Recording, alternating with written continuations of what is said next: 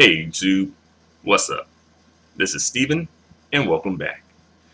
In this video, I want to present the following question. Who do you consider black slash African American? Right? And this is, you know, me asking for your personal opinion on the matter, right? How do you feel personally about this, right? Um, do you feel like blackness is only someone who, who's 100% black, as in, you know, nothing else tracing to any other regions except for Africa, like no DNA tracing to any other regions except for Africa, like 100% black. If you're not um, straight from the motherland, then you're not black right? Because I think some people kind of feel like that, particularly in Latin America, I think. um, or do you feel like perhaps blackness is like, you know, perhaps 75% black, right? If you're like 75% black, you would be considered black. Yeah. Um, or perhaps you feel like blackness could be 50%, right? You just perhaps have to have at least a black parent within the first generation, right? A black mom, a black dad, at least, right? Because some people do feel like that. I personally, well, I guess I'll get into how I define blackness a little bit later.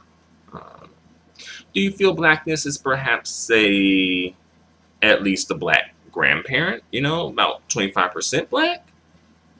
Um, or perhaps do you feel that blackness is just being related to, you know, biologically related to any black person, no matter how distant the relationship is? You know, like the one drop rule. Do you feel like some people do uh, subscribe to the one drop rule?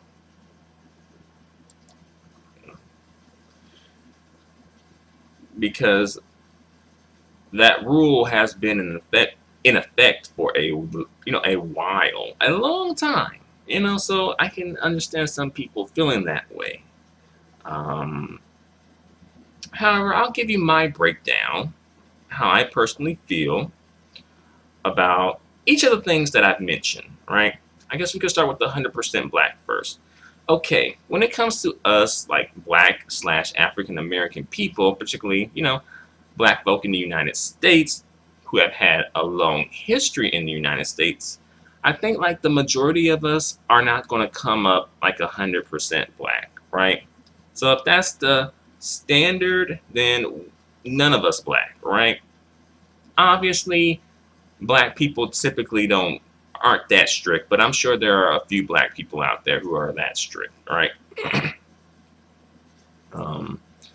um, 75% black. I kind of see this as more of the norm, you know, like I say like at least 75%, where it's like, okay, you perhaps have a look that is close enough to blackness, right? It's perhaps you may have like a, because we're oftentimes the, it's by uh, skin tone. Let's keep it real. Black people and skin tone, you know, in the community, it's a big deal, right? Because of our history. um, so I kind of feel like a lot of people tend to gravitate towards like the 75% black, right? Um, perhaps, you know, you have like a majority black parent, perhaps with someone and another parent who's perhaps maybe a little less than 75% black, but still black enough to create a black child, you know? But yeah, I'm I'm tending to think that a lot of people are going for the 75% black, you know, especially now because it seems like people are more so becoming more and more conscious and rejecting the one drop rule and wanting to kind of define blackness and also maybe um, counteract colorism as well, you know, and fight against that too. So I feel like a lot of people are gravitating towards the 50 per, uh, the 75 percent. As far as the 50% is concerned, I feel like people will give us, let people who are 50% black slide, right? Um, you know, me personally, you know, as far as like, I guess my, you know, I, as, you know, recently I've done, I did a um, ancestry DNA test, right? And I posted it on YouTube. And on the test, the results came back as 59% black, right? So I'm kind of like, I'm more than half, but I'm kind of less than 75%, right? So I'm kind of, you know, kind of somewhere, you know, a little bit in the middle there, right? um, but me personally, I kind of, this is like where I come in with, where I, like what I consider black. I would say the person should be at least 50%. Um, I feel like they should be 50% and they should have a majority black parent right? Their parents should be at least 75% black. Again, this is my personal take on it. I feel like this is fair, right?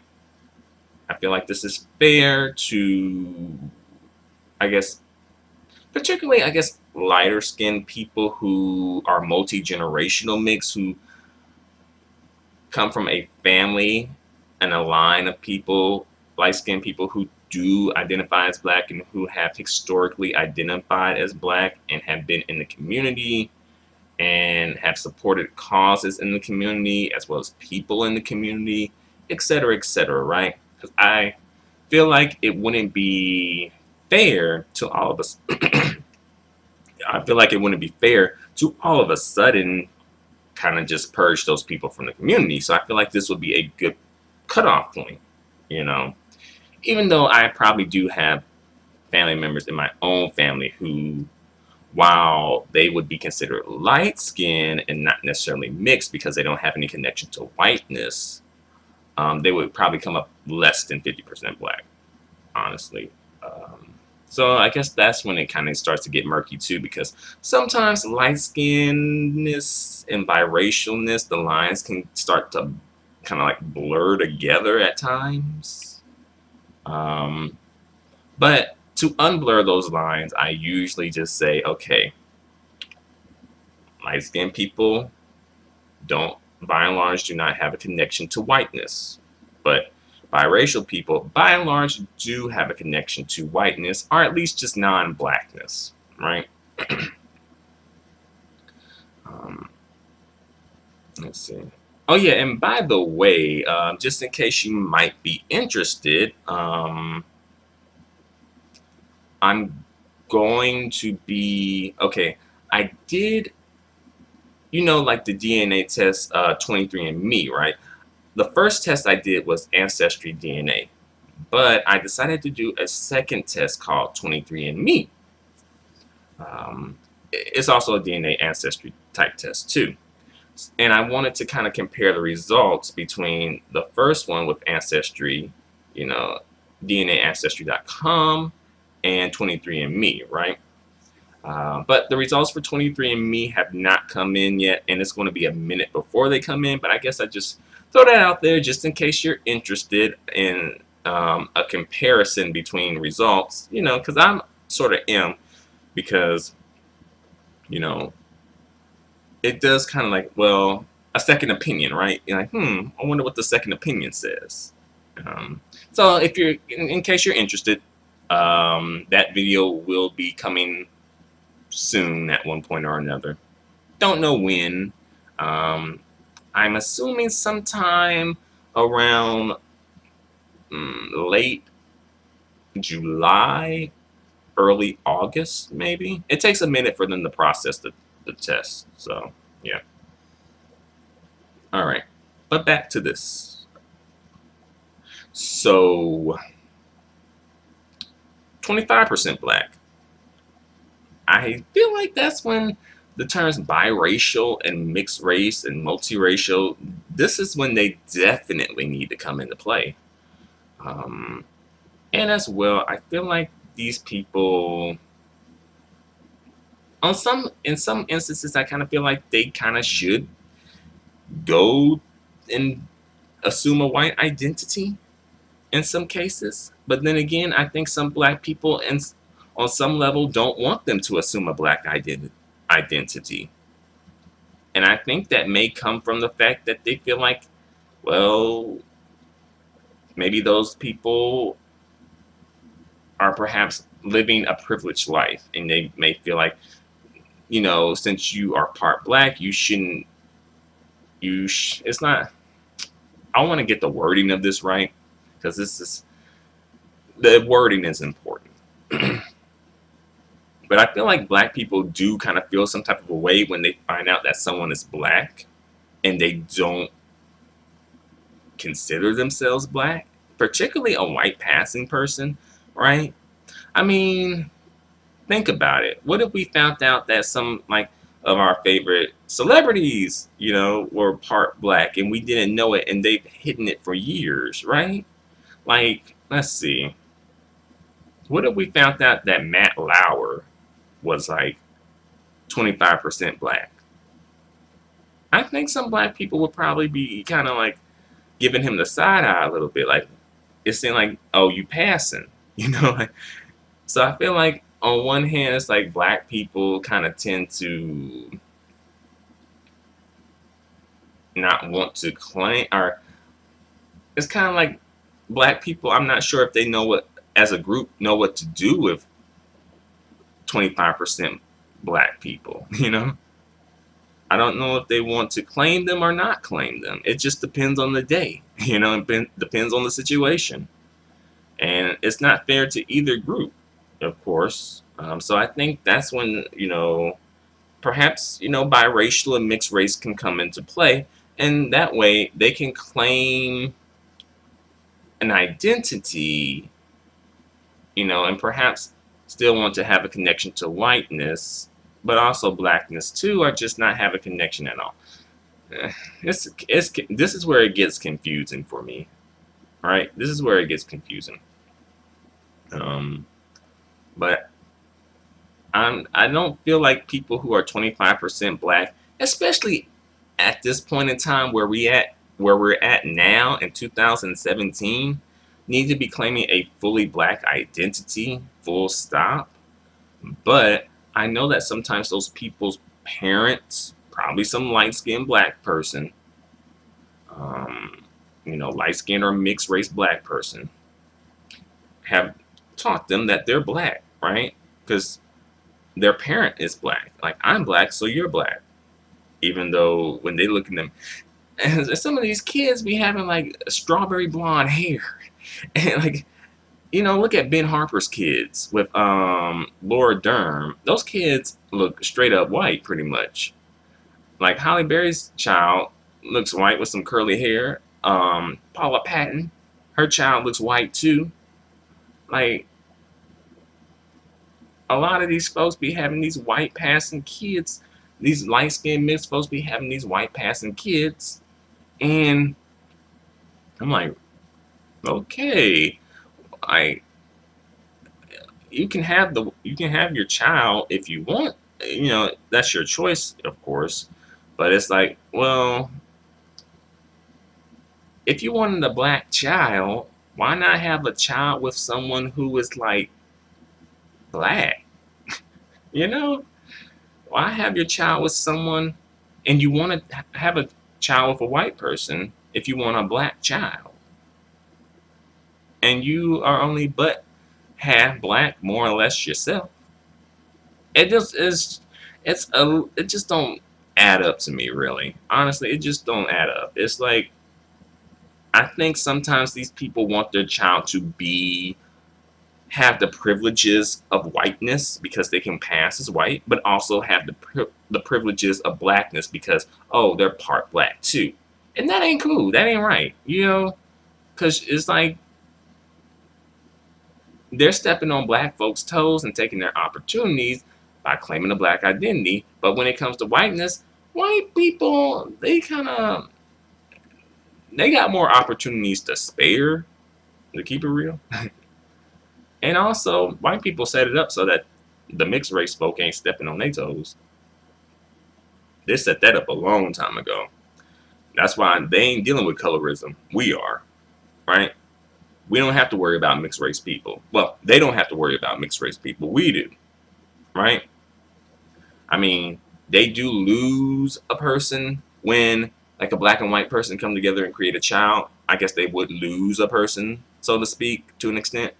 But a lot of times, like white women are raising these kids, so I'm sure they're indoctrinating them with white supremacist thoughts and things like that. So these child children do sort of go on to somehow perpetuate colorism and white supremacy anyway. It's complicated. Um, last but not least, uh, one drop. Do you think that anyone who is one drop of black should be black? In my opinion, no. Um, especially like one eighth. Really? That person has a great grandparent who's black, but that's it. All the rest of their relatives are white. and we're like, no, you're black. I, I really think that that is some slave shit right there, and that's really racist too, if you really think about it. Because it's like, oh, this person can only be black, even though they're like way more white than there are black. But you know, oh, you know, we you, you don't have a claim to whiteness, even though you are majority white and you look white, you know, and you have majority white relatives, but no, that one black relative, you know, that great grandparent, nope, you are just as black as him. so I don't really subscribe to the one drop rule, at least to that point, you know. I I don't again, as I mentioned before, my family, right? Um, but outside of my family, I guess I wouldn't. I know that's hypocritical. I know. I know. I will admit that. That is hypocritical. Um, but I guess in this situation, I might just be a hypocrite, you know? Um, and also, I don't know the percentages of my family when it comes to their amount of blackness. I just look by, I guess, try to decide by skin tone and facial features and things like that. And also, one thing that I do want to touch on is that some people, you know, some folks, especially like, you know, the pro-black people sometimes be saying like, oh, you know, one drop, right? One drop. the black gene is dominant, right? You know, you hear that type of rhetoric where it's like they seem to be really promoting like this black dominant gene that is just so strong and powerful. But we have to be honest and keep it real. Blackness can be washed away. Blackness can be breeded out. Let's be real. Because while I do feel like black I do feel like there is some truth in black genes having dominance or being dominant. However, if the black gene was really this super dominant gene, then we wouldn't have these. We, I'll put it like this. If the black gene was as dominant as people, some people say it is, we wouldn't be able to tell the difference between a monoracial black person, a biracial black person, a black person who is only 25% black, a black person who is only one eighth black, etc. Right? They would all look the same or have the same features, right? They would have, you know, dark skin, you know, uh, full lips, white nose, you know, those features that we associate with uh, monoracial black people we wouldn't be able to tell any difference, but we can tell the difference, right? We can look at people and tell, okay, I I can see that you have, you know, you probably have two black parents, right? Or you can look at some people and say, hmm, I, I think like, you know, probably one parent is black, you know, one parent might be white or mixed, maybe, right?